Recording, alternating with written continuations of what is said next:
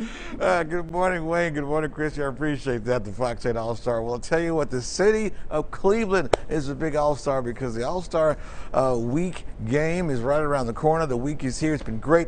Really looking forward to this one. This is the uh, NBA crossover. We're here at Public Auditorium, hanging out with Joey the man. You, you it suits you well, man. It does. I'll you, say you, this- you have the king seat here.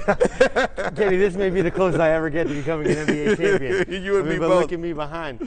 Greatest teams in NBA history, sitting next to the Larry O'Brien Trophy. I don't know that it gets much better than this. I don't think so. And you and I were looking at this. We're going, oh, I remember that. I remember that. I remember that. All these great moments from championships. It's uh, it, these are the kind of things that we bring together at NBA crossover, where for our NBA fans, it's the closest you're going to get to our game, Yeah. um, and all of our interest right here in one place. This is beautiful. Take a pop up, Yeah. Joey. We're going to walk over here just to give them a little preview. So you guys have really turned public auditorium into your own NBA, I would say Disneyland, to- to- to- so to speak. I think it's it's, it's a great analogy, Kenny, because for me, what's so great about our, the NBA is that our players have as many interests off the court as they are talented on the court. Mm-hmm. And so what we do here at NBA Crossovers, we bring together all those interests across art, fashion, music, technology, all into one place. So if you're a fan of the NBA and our players, you're going to love what we've got here at Crossover. Well, this is great. This is awesome. And uh, we're going to give everybody a little tour all morning long. Some of the stuff they're going to see literally is fascinating. It's unbelievable, and what, what our NBA partners have been able to bring to life, the ways in which we're able to immerse you in the NBA culture. Yeah. We've got two concerts that are playing here, Nelly tonight. Okay. Um, after our Rising Stars game, we've got tickets available, and we've got two members of the Cavs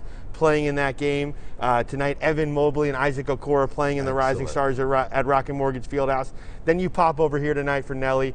Pre-game on Sunday, you got Jack Harlow in the back with AT&T Yeah. prior to the All-Star game. So we got something for everybody here, Ken. Oh, we love it. It's going to be a fun morning. I can't wait to. I'm actually going to dunk.